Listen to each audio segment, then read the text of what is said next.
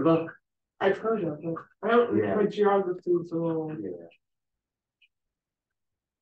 But nice state, everything's very green, a lot of green, a Oh, yeah. lot of mountains. Okay, good to see you. How you guys doing? Good. Listen, how you doing?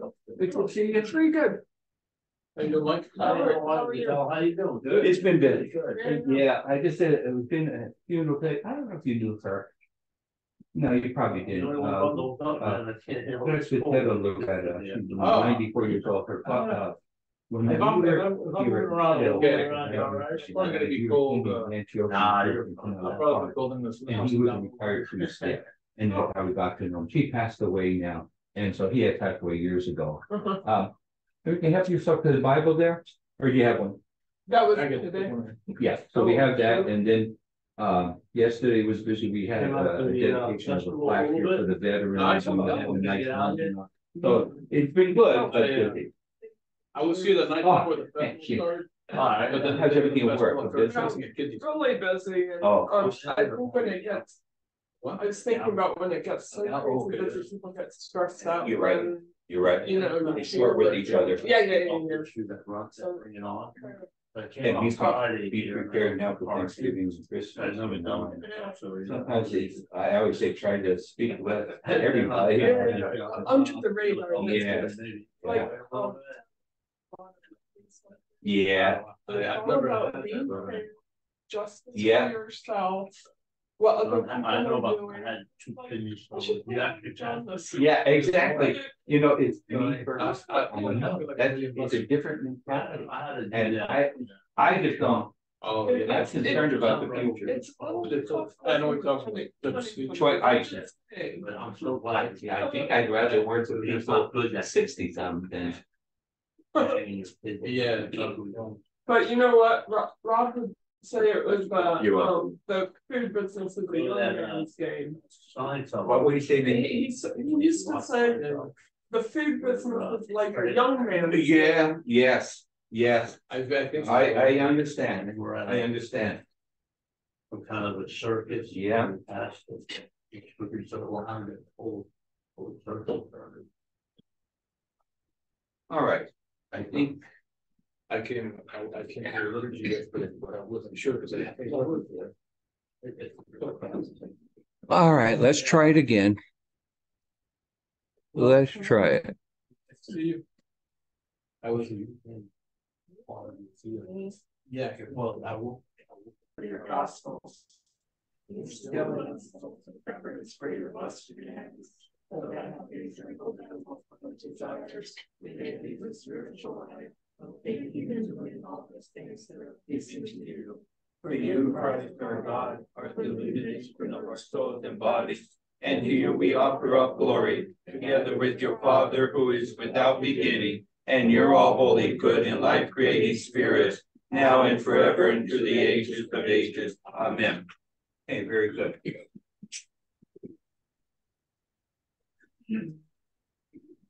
For those of you who are on Zoom, can all of you hear me pretty well? Yeah. Okay. Yes, Father, hi. We Okay, very good.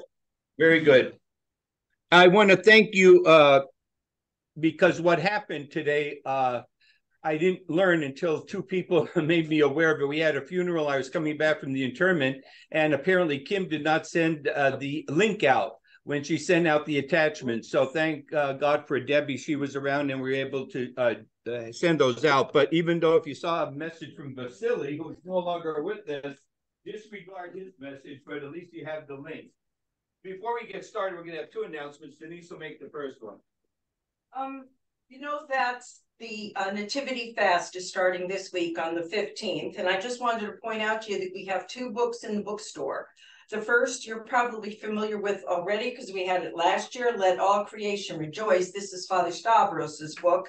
And each day has a reading, a quote, and something to meditate on. But there's also a brand new book out from Ancient Faith, which is called Behold a Great Light. And it has eight different contributors, and they have done the same thing, taken each day and uh, give you a meditation, a prayer, etc. Father's book is twenty-one, and this one is fifteen, if anybody's interested. Thank you. Anything else? That's it. Thank you. All right, and then uh yesterday we had a dedication of a plaque for the uh, veterans, which is now. Uh in our church hall here next to the bookstore. And our project as the veterans first responders for this time of the year is to collect toys for the Toys for Tots. And uh Michael actually um brought some in today and you were gonna share, if you don't mind, Michael, and uh, loud enough so people could hear about what you were able to do. Well, I, I gave someone fifty dollars and I told them to go out and buy toys, new one, you know, nicely wrapped. And they went on Hi- East Hillsboro And there was a store there, I guess, called D and D's, if you ever heard of it. Mm-hmm. And she said there was a whole section there. And she came back, and when she came back, I figured maybe there'd be three, four toys, and it was like twelve toys. Wonderful. And they were brand new in the box, and they were really nice, they were like three bucks. No.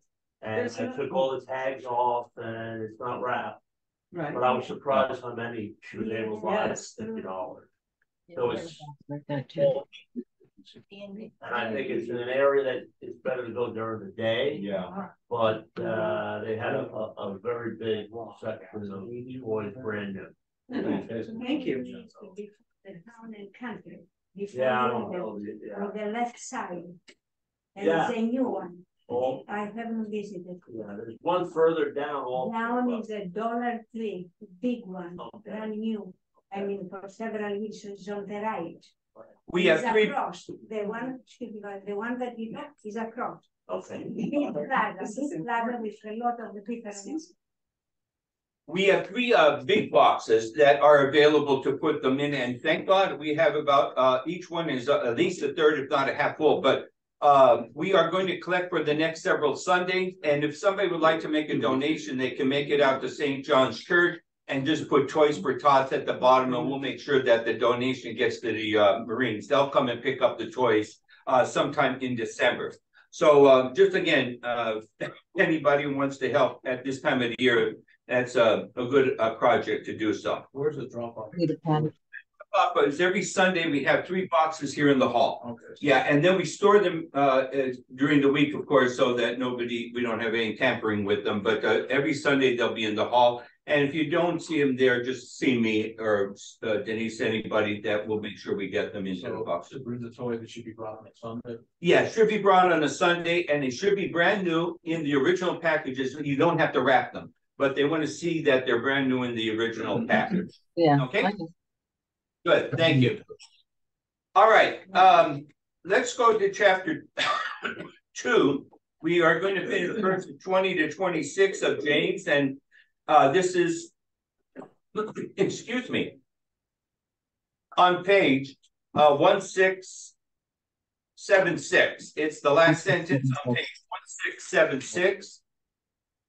And um, thank you, thank you. We're gonna read uh verses twenty to uh twenty-six. Uh, Miguel, if you don't mind the reading though. But do you want to know, O foolish man, that faith without works is dead? Was not Abraham our father justified by works when he offered Isaac his son on the altar? Do you see that faith was working together with his works? By works, faith was made perfect? And the scripture was fulfilled, which says, Abraham believed God, and it was accounted to him for righteousness. And he was called the friend of God. You see then that a man is justified by works and not by faith only. Likewise, was not Rahab the harlot also justified by works when she received the messengers and sent them out another way? For as the body without the spirit is dead, so faith without works is dead also. Okay, very good. Tina, you would pass this. Works with you, uh, Yes. okay. Someone's tripping in the bathroom. There's the uh, two thing. Okay, let's go to the question and answer for what uh Miguel read in verses twenty to twenty-six. James two twenty repeats the main theme, that faith without works does not save. It does not save us. We are not going to gain salvation just by doing good works. That's in verse fourteen. It does not profit, as it said right there in scripture. In verse sixteen, it says, uh, let me just read it again. And when, uh, one of you says to them, depart in peace, be warned, be filled, but you do not give them the things which are needed, that's the faith itself, if it does not have works, oh, right before that, what does it profit? There's no profit in it. And in the, and is also in verse seventeen, what? And Dead. Faith without works is dead. So if it does not save, if it does not profit, if it is dead, it is Useless. useless.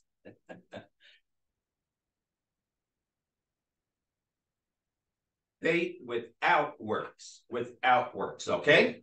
Let's go on to B. In verse twenty, St. James challenges his adversary directly, denouncing him as a foolish or what type of man? Empty. Empty. In Greek, Genos, kenos. genos. Very good. For his, go ahead. Yeah. mhm. For his refusal to repent and strive for good works. James C, see there, James 2, 14 to 20 described a what kind of faith? Dead faith, but now James 21 to 26 shifts to a Saving. saving, S A V I N G, saving faith, providing examples that it manifests itself in the production of works. All right, D.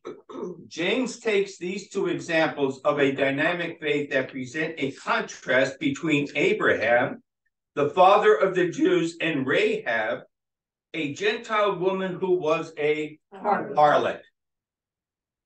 Now, it's going to be interesting to compare these two. All right, look at what we're compar- comparing here. Their common denominator was a faith that proved itself as genuine by their works. They came through.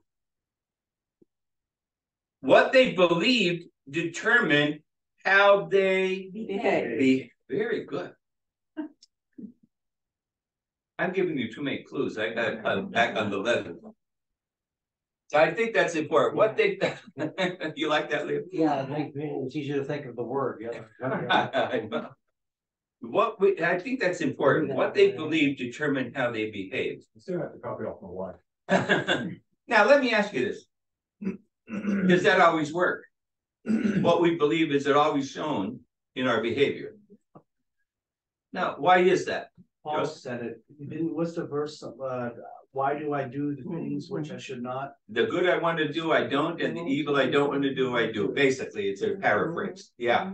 Gina, I'm sorry for derailing. Um, so the woman that was a harlot, was she continuing to be a harlot and we're still saying that she was saved? we're gonna talk about that. Oh, okay, good. I think- Gina's always worried about people, trying to take care of them, you know? Okay, The work, their workers, they're not demonstrating faith. Their works we want to make sure we get, explain what her works were, okay? Yes, exactly. All right, Thank you. good. What they, That's not okay, both behaviors were far from easy, for in Abraham's case, God asked him to sacrifice his only son. And the other, a woman was asked to put her own life on the line to save two Hebrew spies. Abraham would be an example of the, what kind of men? That's- Best. If you just look at by, by what they were, to these Jewish readers. With Rahab, an example of the worst Oh, well. the worst, the opposite. Abraham had faith. Here's a harlot. She's looked at as being the worst. And yet, here's the key. They were both what? Justified by worse. This is the key. And we're going to look at why that was the case. The reference to each example is introduced with a rhetorical question, which invites an affirmative response. Let's turn to page two fifty-eight, Joshua two. Page two fifty-eight. Oh.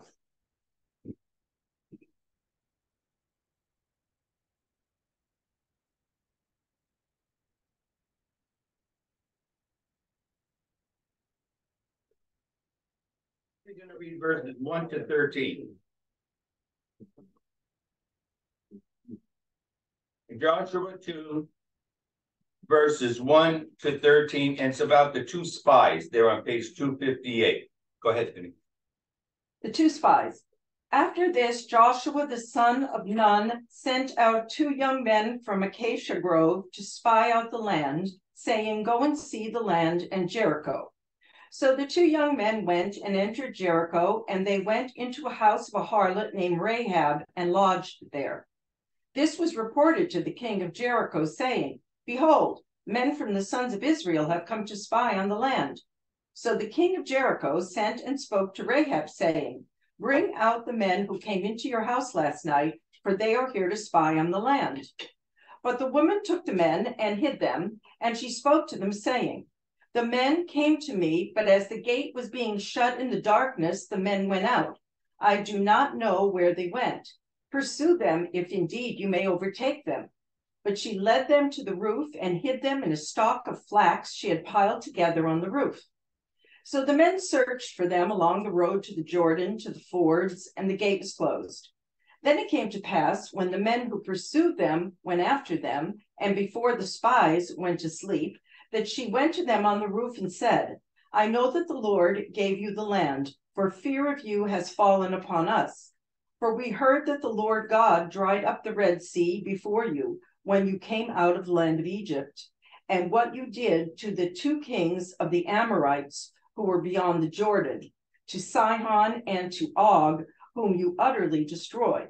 So when we heard it, we were amazed in our heart, and there was no longer any spirit in any of us because of your presence, for your God is in heaven above and on earth below.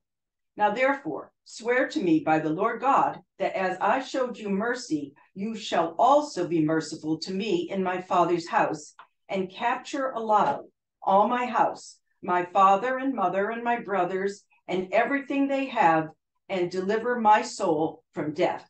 If you would read the footnote there for two, three. The Holy Fathers mm-hmm. agreed that Rahab was a type of the church, mm-hmm. for by her hospitality and faith, she secured salvation for herself and her family. She is also an ancestor of Christ. And the next footnote. Although Rahab was a prostitute, she was saved through repentance, which is how anyone gains salvation. Okay, so in other words, here you have Abraham, and he, you know, if you think of the Jewish people, if they they ask, you know, if they were asked to put him on a scale of one to ten on who has great faith, they would probably list them as a ten for having the greatest faith. Here's Rahab, who people would write off, but a couple of things happen. She helps God's people. She risked her life. Risk her life, really doing it, you know, and then she could have been killed there. Her family could have been killed, etc. And then she is rewarded for that as well as her family. So let's go to the uh, uh, bullet there on the bottom page one on the question and answer. Rahab came to believe in the Jewish God who is giving Israel victory over the peoples of Canaan. All right, this is in the Old Testament. In the New Testament, what would we call people who were not Jewish but would come to know God? Gentiles. Gentiles. So, in other words, the message is going out. Anyone can be saved if they believe in God, and especially in Christ, etc., in the New Testament. But simply believing in the Jewish God was what? Not enough. Rather, she had to what? Her new loyalty. Express. Express. Express. Express her new loyalty and faith in the concrete act of hiding the spies from their pursuers and sending them home safely. It was only thus that she saved herself and her family and went a place among the chosen people after the fall of Jericho. So here it's almost like James is trying to show look, you can take what people think is the best person, the person who's the worst, but what's the key that they both need to do to be accepted? That's will. Do God's will, express themselves in works, repent in Rahab's case, and even in Abraham, because originally he was not uh, a believer. So you have repentance, obedience, doing works, etc. So it becomes very important. In other words, it's not enough to say, I believe. It's show me how you believe.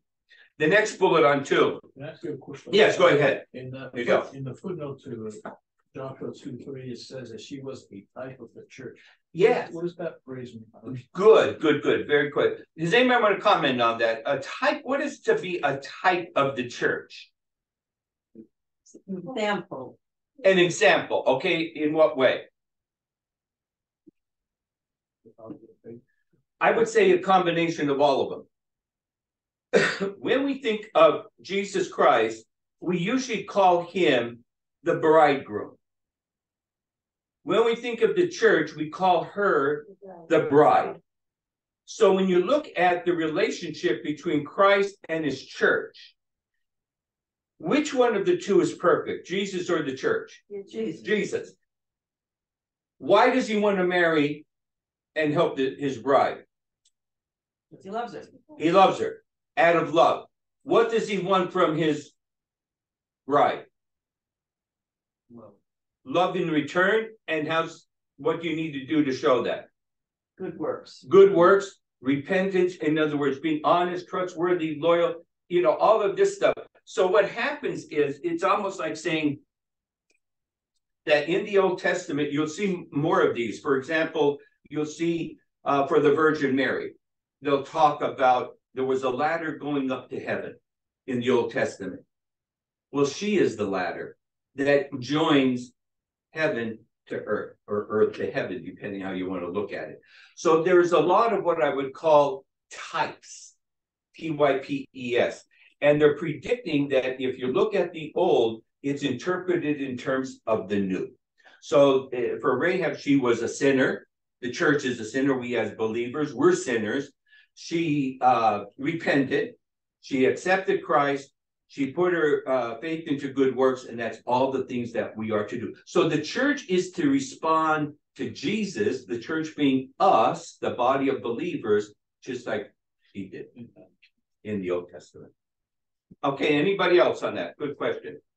All right, let's go to the next uh, bullet on top of page two. And you can turn back to uh, page one six seven six.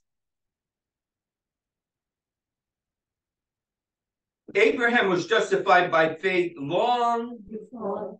That's important. It wasn't when he offered Isaac. He already had his faith. So that think about that. So he already had the faith, Genesis 15, 16. Say, but his obedience in offering Isaac demonstrated that he really did trust God. There are people who will say, I have faith in God until it comes to trusting him. Can you give me an example where somebody could say, I believe in God and I have faith in him, but they show that they don't trust him? Saint Peter comes to mind. I'm sorry. Sa- uh, uh, Saint Peter comes to mind. Saint Peter, good example. I, I've done it three times. Three I times. Not claim uh, that Jesus was one of the, um. Yeah. That There- he was associated with Jesus. Very good. There's a good example. Peter said, you know, and what's interesting about it, prior to that, when Jesus was washing the disciples' feet, what did Peter say to Jesus to do? They want him to wash his feet. And what did they want him to do? Uh, Because, uh, well, he, he said, I don't want you to wash my feet because he felt what? Unworthy. Unwor- Unworthy, okay? So he doesn't want, he, he- he's showing his, like, if I can say, humility. Then when it comes to putting that faith in Jesus says, you know, no, I'm going to do this, etc. Then when it comes to denying Christ, he denies him three times. He was more worried about his, as we would say, his own skin than about keeping. Now, here's the question I would have for you. It was important that he denied him because we get the rest of the story. What do you think would have happened if Peter did not deny him? I, yeah, that's a good question. Well, like he probably wouldn't have grown to be as strong in his faith. Right. As, Right. I think that's the key, probably. You when you look at some of these things, out of a negative can come a positive. Hey, medicine. I have I think everyone no, I don't have any left. You want to share that? Yeah, yeah. Um. God knows what people are gonna do. Did he, did, uh, did Christ and Father, Son, Holy Spirit, did they know that Judas was gonna betray him? Yes, of course. So the point is, there's a message in all of this, but it's always interesting to play the opposite, to say, well, what if Peter said, no? Um, you, you did hear me, and I am one of the twelve. What do you think would have happened to him? He would have been killed. He would have been killed. That would prevented him from going on to do what he did at the rest of the church. And so, in other words, I personally believe that if your life was spared, or you had something happen in your life, or this thing changed, or that thing, there's a reason for it. That there's a reason that this happened, and you learn from it, and you go on. And many times you learn from what I would call a negative or a not so pleasant experience. But there's a message in there, and sometimes it could be a test for us. Okay, going on to the note. Verse 22 says that faith working together or co-working with works was made perfect. That's a strong word. Strong word. This shows that faith was already present and then the works were perfected. Uh, per, the works perfected it. So let's look at the footnote there for on page 1676. Alyssa, if you would read that uh, for 220 to 24. The faith of Abraham is living and active. In Genesis 12, 1 to 3, when Abraham is 75 years old, he receives a call to forsake all and follow God. Now, today, if you live to 75 or 85, 95, that's considered pretty good, right? How would you feel like if you got a call and God spoke to you at age 75? Either either this is from God or it's from the devil, you know, you want to discern. Go ahead, Lisa. Um, but when Abraham is almost 85, after he has proven his faith through years of renouncing his land, family, property, and privileges, God promises him that he will ultimately regain everything he has given up. Abraham's faith in God's promise is accounted to him for righteousness. God fulfills Abraham's faith by making a covenant with him. And Old Testament. Old, Old Testament liturgical and sacramental act. Now, why do you think it took 10 years? What was God doing with Abraham in those 10 years between 75 and 85? Defining. testing him. He was probably testing him. Let's see if he's going to have this faith and put it into action and really trust me. Now, let's go ahead and read the next section, uh, Lisa, please. In Genesis 22 1 through 19, Abraham is almost, uh, Abraham is at least 110. He has he has been tested for years concerning God's promise of a son. Now, after the covenant covenant sacrament of initiation, circum, circumcision has been given in Genesis 17, comes Abraham's supreme test, the sacrifice of sacrifice of Isaac, his son of promise. James reveals that, Gen- that Genesis 15:6 is fulfilled in Genesis 22. So 75 years to 110, this is the, the period of time. Go ahead. This is a crucial lesson for us in our understanding of justification by faith. Neither Abraham's faith nor his justification is merely mo- momentary, static, or once, once and for all. It is dynamic, a growth process that finds its natural and normal realization in good works. Far from being just point in time, Abraham's justification covered at least 25 years after God first declared him just. It is living and active faith that saves. Okay, so when you think some people will come up to you and they'll ask you, Are you saved? They want you to be say, Yes, I am. And they base it on what would you say, a one time thing, or is it based on a long period of time? A one time thing. And, and so you may say, well, I have put my faith in God, but now you're gonna have to live it out. But some of these people will say, well, I know I'm saved and I'm going to heaven. And they may or may not live a Christian life after that. So I'm always worried about when, and that's why we keep emphasizing how many times in the Bible study, I was saved, I am being saved, and I will be saved.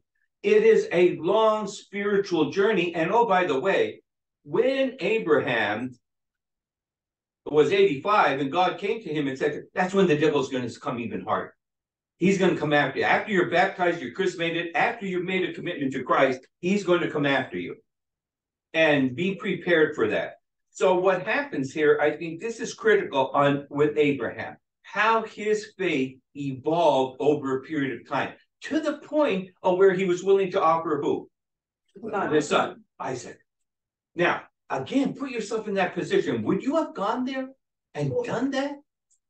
I mean, that's hard to, you know, put yourself in that position. Most people would freeze. Most people would freeze, or, you know, they always say the worst thing is for a parent to bury a child. You know, and so you say to yourself, how much faith he had, and it got close. He loved more God than his He- child. And that's the point. And you know, it goes back to the scripture. Anyone who loves father and mother more than me is not worthy of me. You know, you go on and on and on. Now, it, it you know, it- got close with Abraham to be that that serious, but it shows us on sometimes how far away we are in our trust and faith in God. That's the point. You know, we may not be tested like Abraham, but we are tested in other ways. And how do you know when you are being tested and you don't trust God? What do you feel when you do not trust God in a situation? Yeah. Miserable. Fear, Miserable. anxiety. Marcus, what do you, Just what, something's not right. something's not right? That he forgot. I would say the big one is um fear and anxiety and almost like if I don't trust him, the relationship, it's like we're passing each other. We're not locking in, we're not synchronized. And so what happens is when you're synchronized, you go together to like that. The other way you pass in the night and it's like going away. And it's not a good feeling. It's not a good feeling. And inside, sometimes you could. I had a woman uh, come to confession uh, recently, and uh, without giving anything away, but what, but basically what she was saying is, I I felt bad. I felt anxious. I felt not at peace because of, and then the, the things went on. And that's what usually happens when you don't have the faith and the trust in God. You start to feel uneasy. And sometimes what's bad is when you know what you should have done and you did not do it. The sin of what I would call omission, not what you committed, but what you omitted not doing. Meaning, I should have done something, I should have apologized, I should have. And that was one of this woman's uh, confession. Yes, I, Tina. I'm just going to say that, um, throughout my life, every time that I have made a decision out of fear. Yeah, And there are, there have been several, each, each one of them was a mistake, each one of them. Yeah. And, and, and, and it- it, it, because it, the motive was wrong. yeah. Let me ask you this. When you did make those decisions, what were the consequences? I derailed. You It was derailed. a de- de- a total derailment. It was either, you know, I was with people that I I really should not be associated with. Yeah. It was, um, you know, property that I purchased that should not have done. Yeah. It was always something that set me back. So it was uh seeing in the consequences of your relationships with people as well as with things in Yes. general. General. In general. Across the- board. And and and with that, when you have that fear, that anxiety, uh what I think, uh, correct me if I'm wrong, I'm always, I would be worried what's gonna happen in the future. What's the next thing to derail? Yeah. Marcos? Question for you. Yeah, One of the hardest things to do. Easily forget to do it, is to wait on the Lord. We don't have a clear and a peace on any decision. You know, what I'm gonna be, is this person the one for me to marry or, Mhm. or this, uh. Somebody's offering us something, what? Tell us some more about waiting on the Yeah. Lord. Uh, Marco said one of the things that you have to be aware of is, you know, the verse that says, wait on the Lord. Uh, it ties in with the other verse from the Psalms, be still and know that I am God. I, I like the one, be still and know that I'm God, because what it says, don't forget, I'm God, you're the creature. And be still means listen to me. Keep your mouth shut, open your ears, etc. Now, there's two sides to that coin. The one side is be patient. God will work things out in his time. The other side is sometimes he sends you signs and you don't take advantage of it. He says, What more do you want me to do? And so you could miss the boat by being inactive, or you could Not miss the boat by being too active. Yeah. And so what the, what's required in that to make that decision? Holy Spirit, discernment. Discernment. Discernment. But but again, it, it goes back to fear, in my opinion, the Yeah. fear, because Yeah. if you're holding off Yeah. for jumping Yeah. through the oh, Yeah. window that God has opened for you, then out of fear or whatever, that's a big mistake. Yeah. So you have to be prepared Yeah. to trust in God Yeah. to make the leap and and and and move forward. Yeah. So it, it's wait, but also be prepared. be prepared. In other words, what we always say, we are saved because of the grace of God. He's going to send the grace down, but we have to put our faith in Him. We have to be active. So it's a combination His grace, our faith, and then you put it into good. So, in other words, you're right, uh, Tina. Sometimes you have to wait, and other times He sends you signs, and then you have to say, Lord, thy will be done.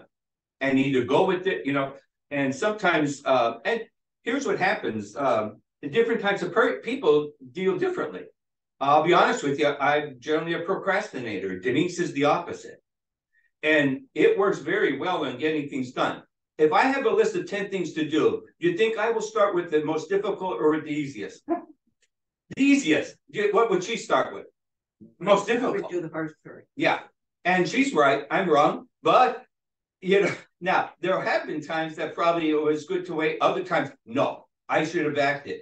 And and and so forth. So it's good that we compliment each other in the sense that, you know, she'll say, you may may want to make this phone call. Well, I know now." about that because at the end, when he has no more time to do the hardest thing, I usually have to help him.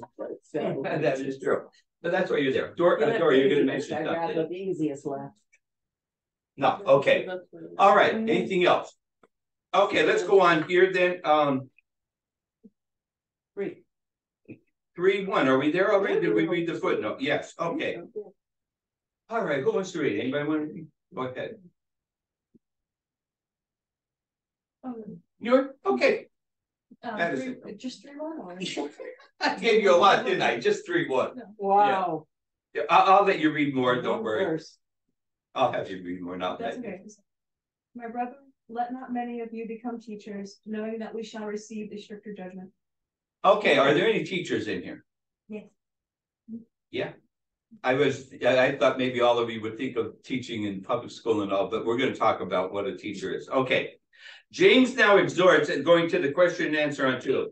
James now exhorts his hearers to two things, Oh, meekness and humility. humility. This is gonna be the emphasis here. He's gonna talk to certain people and say, these are very important to deal with, meekness and humility. The first bullet under A. In the culture of the first century, teachers were highly respected. Is that the case today? No. No, unfortunately. In this respect included the Greco-Roman teachers as well as the Jewish teachers. Jesus was often given the title of rabbi or teacher. Excuse me. Similarly, the Jewish scribes and the Pharisees were both held in high esteem by the Jewish populace. Thus, it follows that many would seek out the position of teacher even though thought they were not gifted or qualified. This now, not in today's society, not necessarily with teachers, but is that still done where people would seek out a certain thing even though they would not be um gifted or qualified? Sure, Yeah, it could be in what, what areas? politics. Politics. Politic, would become politicians, Mhm. would be Yeah, any kind of, that would see pres- prestigious as, a- as a role and of authority. I think people without skills and qualifications will seek that, we get the glory. there's an old um adage. Um, I think they call it the Peter principle. You rely, uh, correct me if I'm wrong, George, you're right to the level of, your incompetence. All right, and so a lot of people have heard that, so you, you've worked with people or et cetera. All right, moving on. Many among them tended to be what? Arrogant. And some coveted the teaching office, thinking that becoming a teacher in the church, especially in the church, would make them more prominent. People look for power and prominence. What Tina was saying. Their desire to become teachers was thus not motivated by a love of wisdom, not by wisdom, and a desire to spread it. Rather, it was motivated by a love of status. Very good. Status and a desire to Dominate. dominate. Dominate. Still goes on today. Absolutely. Does that go on in the church? That was an easy answer, right? Why? Why do you, of all places, you would think that it should not, thank you, it should not go on. Why do you think it goes on in the church? What's Ego. ego? It's pride. It's pride. I don't, people are human beings. Did it go on in the church, in the synagogue, in the mosque? No. Does it go on? Yes.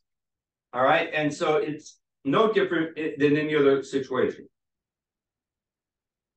Okay, um, next one. The office of teacher in Greek, didaktos, was a common one. Teaching along with ruling was one of the tasks of the elders or presbyters.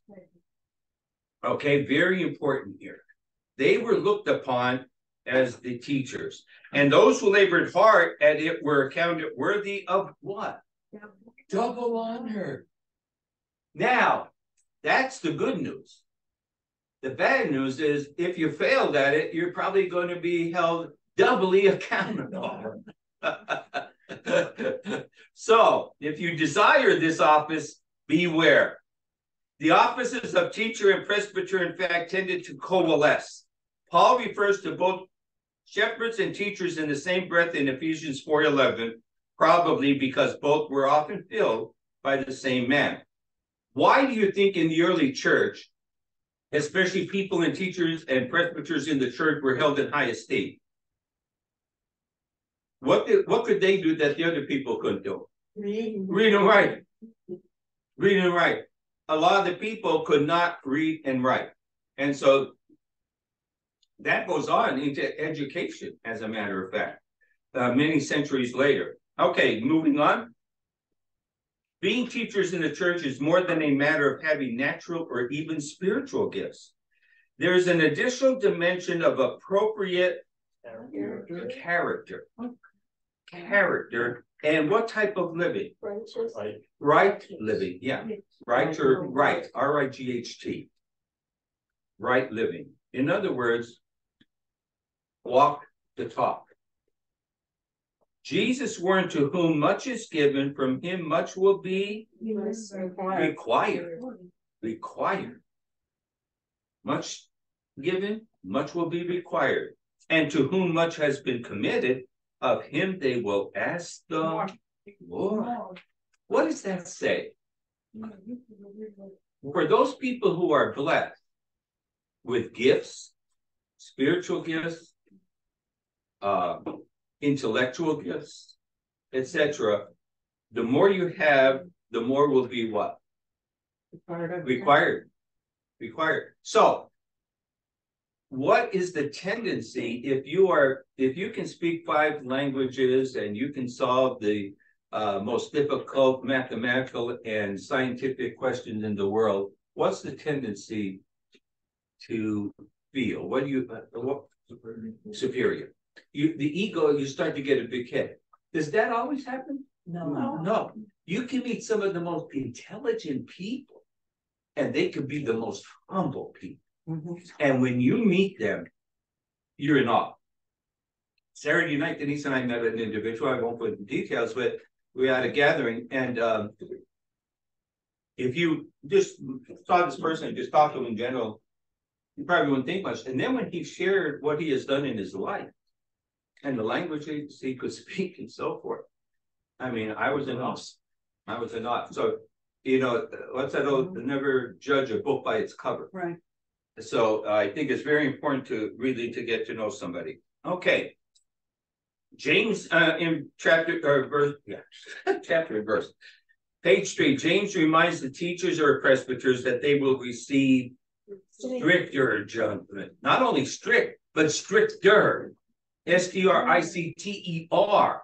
They're going to be held to a higher standard.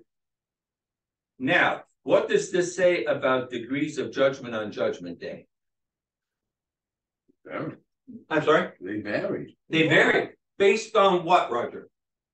Uh, what you, or the- what- How much you- What, what- what you did as a person. What you did as a person, And the gifts you started with. Well, you were. what you were given, what you were given. If he bestowed a lot of gifts on you, you better show him what you did with those gifts.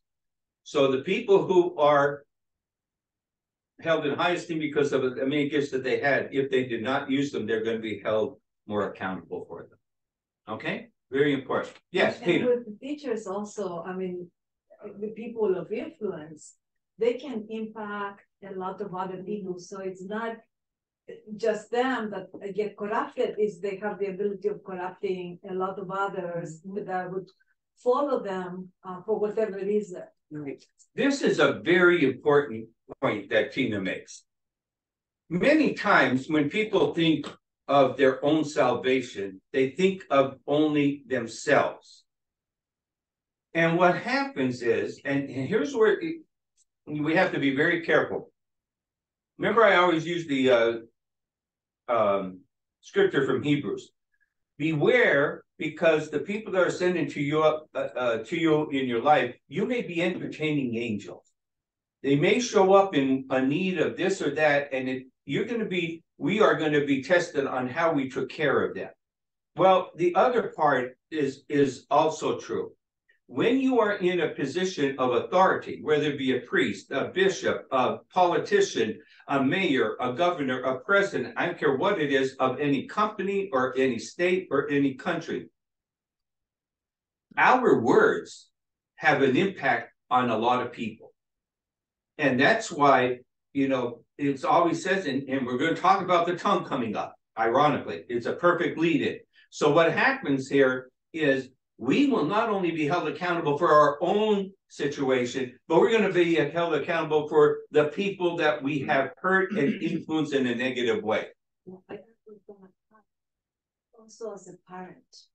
Also as a parent. And, and, and it makes the moment we commit and we have our children. The example that we give, the, the care that we provide, because they, they see us and they imitate, at least up to a point. But we can, that, that, that also can derail them if we do not. I, I like what you said, Tina. Tina mentioned here, if you didn't hear on the Zoom, she said, especially as a parent, the influence that a parent has. I would take a little step further. Anybody who has influence over a child, especially, and you can use whatever definition you want for child, zero to five, zero to 10, zero to 20. I don't care. The point is whether you're a parent, whether you're a, a babysitter, whether you're a daycare center, sitter, whether you're a teacher, a priest in the church, you are going to have an influence over these kids, whether you like it or not. And it's going to be positive or not. And it's amazing, at least for me, to see what you will remember about a teacher, about a priest, about a parent. Just think back, and some of the things will be positive and some will not be. And so we were all influenced, whether we liked it or not, by people in authority. And we influence because now we're in a position of authority. And so, like you said, it is a daunting responsibility in my estimation. Okay. Now, Madison, you can read two to six, okay? For we all stumble in many things. If anyone does not stumble in the word, he is a perfect man, able also to bridle the whole body. Indeed, we put bits in horses' mouths that they may obey us, and we turn their whole body. Look also at ships, although they are so large and are driven by fierce winds, they are turned by a very small rudder wherever the pilot desires. Even so, the tongues, even so, the tongue is a little member and boasts great things. See how great a forest and a little fire kindles. Okay. Um, Six. one more, one more. Six. Oh. And the tongue is a fire, a world of iniquity. The tongue is so set among our members that it defiles the whole body and sets on fire the course of nature, and it is set on fire by hell. Wow. Ooh. wow. What an ending. What an ending. You know, we probably need to get uh, for, uh, I should suggest to Father Stavros. Uh, maybe we'll do a sermon on gossip and, or, you know, and put, put this verse in for anybody who deals with the tongue and, and so forth. It's uh, pretty strong. Let's go to the, uh, the question and answer for three to two to six. A, the Greek word for stumble in verse two is There. teo, which means to stumble or to lose one's, you're, you're guilty of. It means to lose one footing, to lose one's footing, or to be Tripped up. tripped up. It's like falling over, tripped up, losing one's footing. It is not a Fatal. fatal, very good, it's not a fatal fall, but something that trips us up and hinders our what kind of progress? Spiritual. So these are gonna be many, many, many. Hmm. We stumble in word about ourselves with our boasting. Do you think most people like to boast? Yeah. Why? Ego. Makes you feel Ego. It makes you feel important. It makes you feel important. Joseph, what were you saying? Yeah, makes you feel good. Yeah, it makes you feel like you're somebody, right? Yeah. Well, is that really true? I don't think, think when people on the surface. oh, Myself. I'm feeling something good about myself and then later I feel it. Now. But you might. Yeah, but at the beginning. You know, like, ooh. and all Well, that. I, that's, that's shallowness on my part. Yeah, like in the moment, you feel like you're. I get you're carried so bigger, away. but then you carried think about it. Figure that thing out. Later when I'm thinking, oh, What do, what do we generally do? If, if you were to have an experience or you had, um. I guess I would say with it, an experience and you were describing a situation that you were in, a place you live, what happened? What do we tend to do with those situations? Glossy, make them better than they We ever were. exaggerate, Fish we embellish. The fish was maybe six inches and suddenly now six feet, you know? Those are. Those are okay. Yeah, fish, any fishy story is okay. We exaggerate, we tend to build ourselves up to make us feel good, all right? And so it's, it is the ego. Now, here again, if But- you're, And the interesting thing. is, Yes, After, Miguel. after a few decades, you believe in the, the exaggerated version. and you know what, I don't know about you, but I remember some stories and my wife will say to me, every time you tell that, it's different. It's- We think back to places too that we hadn't been, you know, 20, 20 years, whatever, I don't know. And we go back and say, this doesn't even look like, it looked so good before, and now it's just terrible. I didn't like this. You never know. Okay. We stumble in word about others. In other words, with ourselves, we like to boast and exaggerate. We stumble in word about others with our criticism, gossip, and insecure words meant to gain favor. You know, we treat different people differently and we try to get them on our side and we try to make ourselves feel big, big, uh, better, bigger and better. In the wisdom of Sirach, we hear, many have fallen by the edge of the sword, but not so many as have fallen because of the tongue. That's amazing.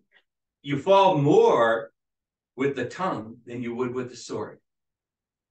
Why, why is that true? The thing that comes to mind to me was, I was reading about God and philosophy today and. uh, when you get rid of God, you get rid of, uh, moral foundation. And that leads to all sorts of destruction. So, but philosophy is a form of word and thought, Mm-hmm, so. I don't know, Okay. That's what. came to my mind. go We ahead. use our tongue all the time, every day. I mean, how many times are you using a sword? Even if you're a warrior, you're not gonna be. How many times, Sword every minute of every day, but your tongue you are. I mean, you're. exactly, how many times can you kill a person? Well. Once. Once. How many times can you kill a person with your tongue? Over and over and over and over. That's what it means. You keep killing people because your tongue is worse than a sword. Two scriptures that can help us to you uh in this area is one Psalm one forty one three. Set a guard, O Lord, over my mouth. Keep watch over the door of my Lips. very good. Psalm thirty-nine, one, I will guard my ways that I may not sin with my tongue. I will guard my mouth as with a Muzzle. muzzle, while the wicked are in my presence. M U Z Z L E. Thank you. Is this the foundation for a vow of silence? Okay, good question, Joseph. Is this a foundation for the vow of silence? I don't know, maybe it's. Now, it's gonna be, inter- I think, I think we're gonna talk about that. Hold on. Um, yeah, actually, we are. Hold your thought, but please bring it up if I don't answer it properly, okay? Yeah, if I remember correctly. Okay, regarding verses three and four, B. Oh, no, no, no, no, no, no, I'm sorry, we went ahead. No. Note, his heart cannot be what whose tongue is not, it cannot be pure whose tongue is not Clean. clean. What does that mean? How can your heart not be pure if your tongue is not clean? What does that say? I'm sorry, uh, Kathleen. Because what you say comes from your heart. Very good. Everything comes from the heart. So when it, I, should we really blame the tongue? No, it's the heart. And the heart means us. So when you think of it, the tongue is just thinking, expressing what's in your heart. Mhm. Now that's scary. So the habit of cursing, that's scary. It's very the scary. habit of cursing is the flaw in our heart. hmm And it's also a lack of vocabulary too. Yeah. You know, uh, you know, you can use cursing as just cursing in general, or you could use cursing like blasphemy. You know, and so there's all different types of cursing, etc. Neither of them are good. None of them are good. Never did it in my life. Yeah, but what it reflects is the heart. No. When do you go in confession next? Oh. No. He doesn't brag or boast. The first one who just said, I don't brag or boast. Understatement, the Lord. Oh. So, you Oh. know, I have a couple of words. I have a problem. Tina. So, uh, confession time again, more confession time. Um, Do I need to get this stove? No. So, um, but, so. I, I look at this and, and sometimes I think my, what I believe comes from my heart. Right, right. And, and, and, and I- God help me, I do have opinions that I express strongly. As an example of this, so when, where is the line here? How, how do we stop? Expressing what we think is the right thing to tell criticism sometimes, or, Mhm. you know, giving directions or, you know, whatever that. Yeah. Yeah, I, I, I think you ask a very, uh. A question that's very dis- difficult to answer in, in one sense. There's too many variables you have to consider. The variable would be, whom are you dealing with? If I, can I be honest with this person, would that hurt them? If I'm too direct? If I'm not honest with them, would that hurt them? Am I gonna build them up or tear them down?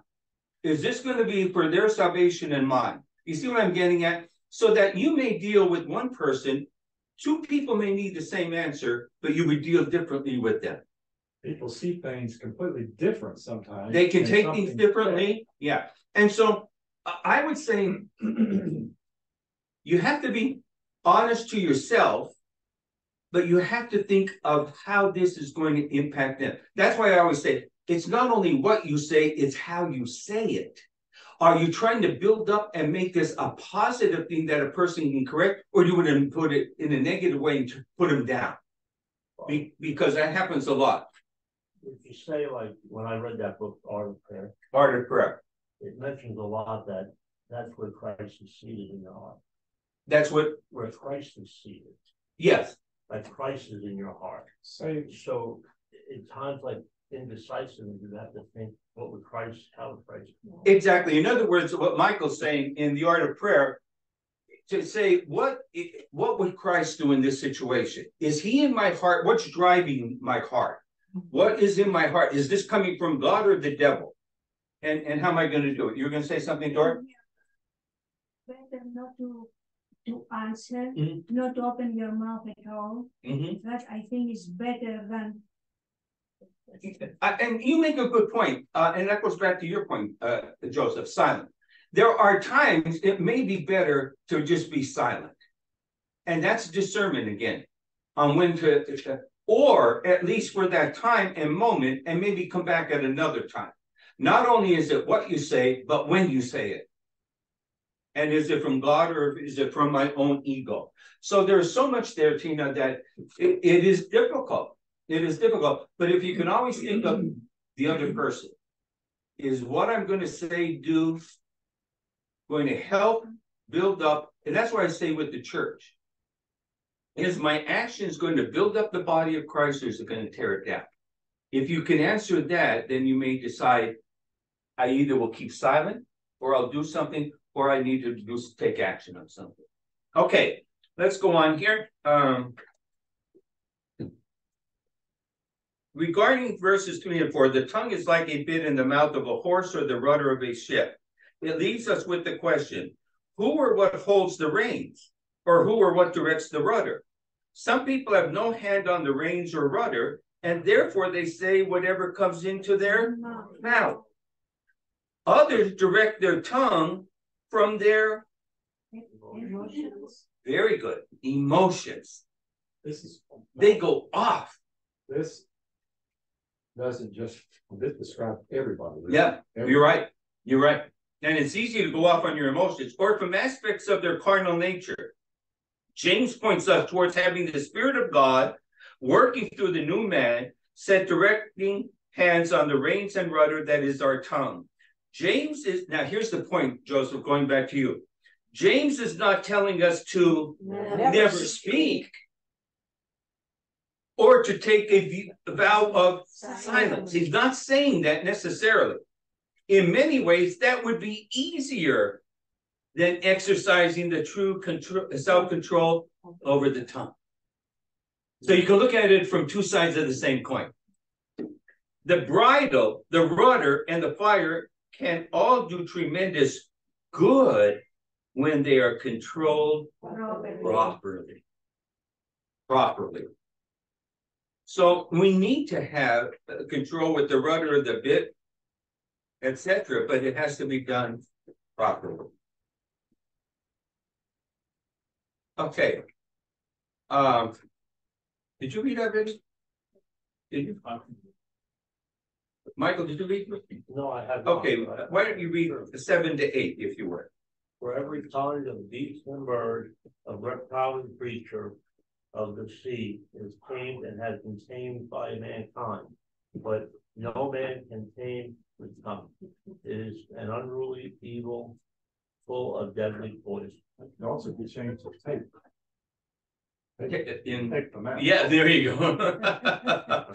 Okay, going to, th- uh, page four, and the question and answer four A. What person can, no person can tame the tongue, no one, you just read that. Nevertheless, the tongue can be brought under the Power. power and control of the Holy Spirit. This is critical. You have to ask for help. If you try to do it on your own, it's not gonna work. We can say that only Yeah. God himself is mightier than the human mm-hmm. tongue. Now that's mm-hmm. sad. But it's also true. God is the only one. Here's the humor. A person came to the priest and said, I think my talent from God is to speak my mind. the priest said, I don't think God would mind if you buried that down.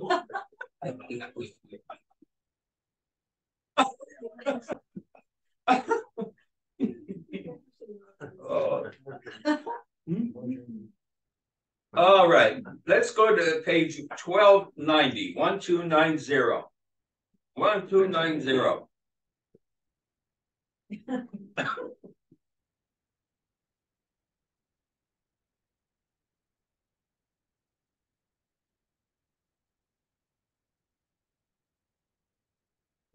twelve of Matthew verses thirty-four to thirty-seven. And Suzanne, if you would uh read thirty-four to thirty-seven on page one, two, nine, zero. Blood of vipers, No. Um, thirty-four, brood of vipers. Oh, oh. Brood. brood. brood, Well, okay. Blood. Yeah, brood of vipers, how can you, being evil, speak good things? For out of the abundance of the heart, the mouth speaks. there it is again. Out of the abundance, That's what Michael said, yes, was so- almost. yeah, they- they- almost verbatim. Out of the heart comes the mouth, go ahead. A good man out of the good treasure of his heart brings forth good things, and an evil man out of the evil treasure brings forth evil things. But I say to you that for every idle word men may speak, they will give an account of it in the day of judgment. Every idle word. Mm. Well, that does sort of tend you, tend you to say, maybe I better be silent, you know? Go ahead. For by your words you will be justified, and by your words you will be condemned. Wow. Wow. Read the footnote there, uh, if you would. Um. For that verse, those verses you just read, the, uh, going down to 35, 1235. The heart in scripture refers to the center of consciousness, the seat of the intellect and the will, and the place from which spiritual life proceeds. When God's grace permeates the heart, it masters the body and guides all actions and thoughts. On the other hand, when malice and evil capture the heart, the person becomes full of darkness and spiritual confusion. All right, so this passage shows that it is not the tongue that is the real problem, but it is the, all right. Let's turn to page uh, sixteen seventy-seven again. One six seven seven, James. And Roger, if you would read their uh verses one to twelve. Oh, Wait a minute, wait, wait, the footnote for one to twelve, the footnote, I'm sorry, footnote. What we say reveals what we are. If we can control what we say, we can control what we do. For James, this is a prime example of the relationship between faith and works. A major locus of spiritual warfare. James even warns against becoming a Christian teacher and expresses astonishment of how hypocritical and contradictory our speech can be. Okay, it is true, it is true, all right. Uh, Leo, why don't you finish reading verses nine to twelve there on page one six seven seven, we'll stop there for tonight. Fine. Top of the right hand corner, one six seven seven. Have it? Yeah. And verses thirty, oh, excuse, me, what did I say, nine to twelve? Three and nine to twelve? Yes. Okay.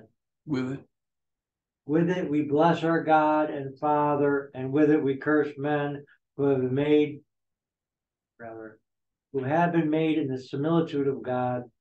Out of the same mouth proceed blessing and cursing. My brethren, these things ought not to be so. Does a spring send forth fresh water and bitter from the same opening? Can a fig tree, my brethren, bear olives, or a grapevine bear figs? Hmm. Thus no springs, or rather, no spring yields both salt water and fresh. Good point. Very good. Okay, in the question and answer there for five A, in verses eleven and twelve, James poses two rhetorical questions. The answer to what uh Leo just read to both of them is no, these cannot be. You cannot have uh uh spring yield both salt water and fresh. You cannot have a fig tree bear olives, a grapevine bear figs. Okay, illustration. I am more deadly than a screaming shell from the howitzer. I win without killing. I tear down homes, break hearts, and wreck lives. I travel on the wings of the wind. No innocence is strong enough to intimidate me, no purity pure enough to daunt me. I have no regard for truth, no respect for justice, no mercy for the defenseless. My victims are as numerous as the sands of the sea, and often as innocent. I never forget and seldom forgive. My name is, and put in your own name, no. My name is his, is, I'm sorry? Gossip. Yeah, oh, this, is, that's a quote that I just wrote. It is, the quote comes from gossip. Gossip. Gossip It is murder with words. Yeah. It also fits the internet. Yes, Not as bad Yeah. as. Good point. Slander's worse, what's that? slander's worse, gossip, I think, gossip can be just talking about people. Yeah, And then like we talk about though, we know that one, yeah, we seem to do that, yeah. you know, it's just a little demolition. Yeah, and both are bad. Yeah, that, that is true. Uh, this was a quote specifically from somebody else. Yeah. well, got me thinking of uh one of those weird scenarios. When we're, when we're supposed to confront someone in church, you go single, then you come in a group, and then you do it like more formally. So how are two people supposed to confront the person without talking? So I guess gossip talks, it comes from the heart. From the heart, yes. It- And it does say in scripture, like you said, Joseph, if you have to confront somebody, you always do it privately. Then you have to take somebody from the church so you have a witness. And then you're supposed to bring them to before the church. Now. Does that generally happen in any church today? I have heard about, I've seen it written where it would have happened in, uh, it has happened in a couple of what I would call strict Protestant denomination. Yeah, that's where I've heard of it too. That's where I've seen it written about. And it could be devastating because people have left the church and so forth. You normally don't see that. Why do you normally would not see that in today's environment? Pretty nasty. nasty, but I think the bigger thing is when the church was small, you had a closer knit group. Today, Like a family. like a family. Today, we say we have a church family, but most people would say when you get to a size of the church of St. John's, you probably should start another church.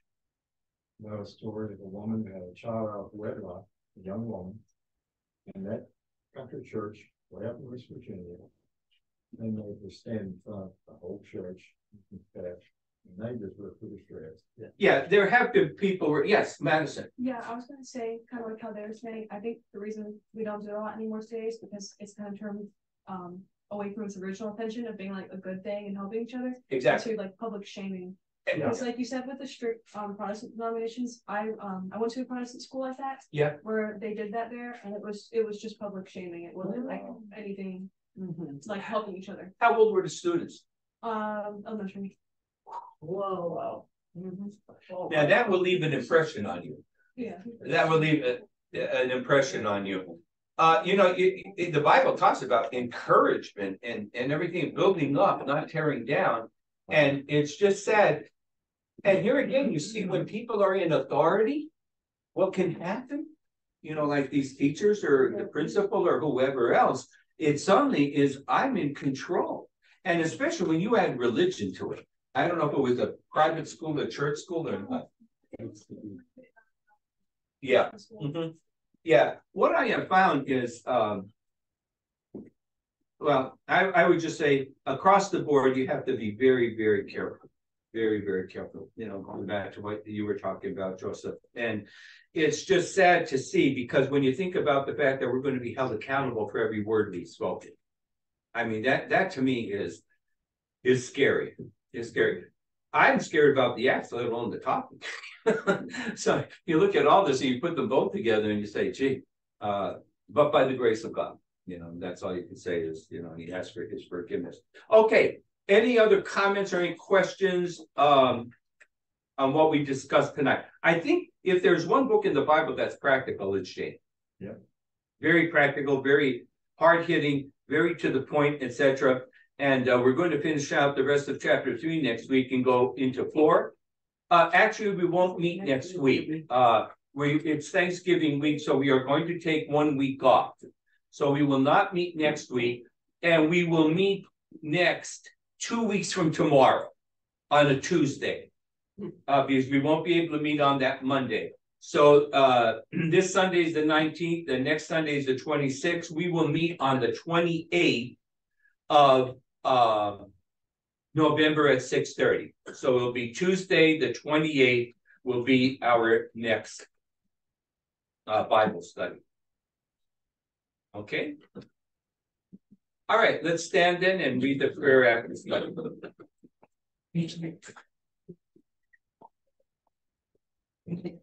In the name of the Father and of the Son, and of the Holy Spirit, Amen. We thank you, Lord our God, that again on this occasion you have opened our eyes to the light of your wisdom. You have gladdened our hearts with the knowledge of truth. We entreat you, Lord, help us always to do your will.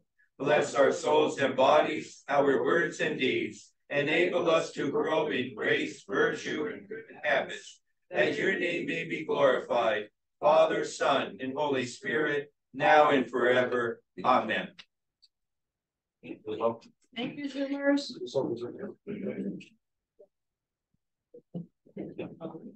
Thank you.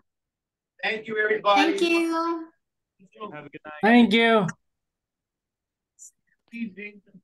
And we'll see you a week from, two, two weeks from tomorrow night. Hey, Father, Father, this Jim? Yes, Father? Jim. Yeah, I was, I just found this, but you could probably use this next time. okay. Um, Socrates, uh, and, and if you look it up on the internet, Socrates had, uh, done, uh, somebody asked him about gossip. Yes. I don't know if you remember that. Mm, Um, No, If you look it up on the internet, um, some people. oh, will- hold on, hold on, Jim, let everybody hear this. Oh, okay, Hold on one minute. okay. One of our, one of our Zoomers, Jim.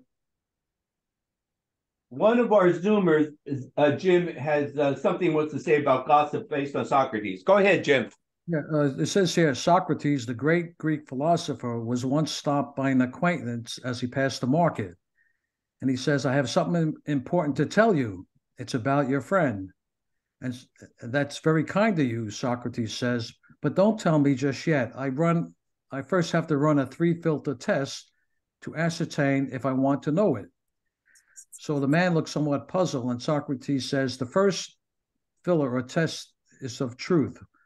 Whatever you're going to tell me, have you seen or witnessed it firsthand? And the fellow said, I actually heard it from someone. Mhm. And the, and the man said, and it is from and is it from a trusted and is it and it is from a trusted source. All right, Socrates says, but that does not pass my first test, since you don't know whether it is true.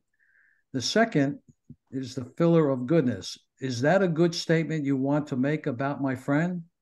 And the guy said, Not really. The reason I wanted to, and Socrates stopped him. So you want to tell me something bad about someone, but you don't know if it's true. And Socrates says, The last test is uh, your statement about my friend. Is it going to be useful to me? And the man replies, Not really as such. I just wanted to share it to you. And Socrates uh. says, Well, if the information is not necessarily true, it is not good. And if it is no and if it is not of no use, please, I don't want to know about it, Socrates says. Excellent, excellent, yeah. That's a good three-pronged test. Yeah, And uh, it goes back to what we were saying. Are you gonna build up or tear down? that's it. Exactly. Thank you, Father. Thank you for sharing that. God bless everybody. Happy Thanksgiving, Father John. Thank you. Same to all of you. Happy Father. Thanksgiving to Thanksgiving. everyone, to you and Thank you, Presbytera Thank you. and Appreciate your it. family. Thank you. Joseph, good, good to see both of you. Yes, Happy thank you. We really, you. we've been enjoying it, Father. Thank you. Good, good. Paula, you take care too. Thank you, Father. I'm Right. here. All right. Good night. Happy bless. Thanksgiving to everybody. This is Cassie. I can't get my video to work, but Ah, That's okay. Happy Thanksgiving. glad I made it. Thank you guys. Bye. Hey, take care. Good night. Bye-bye.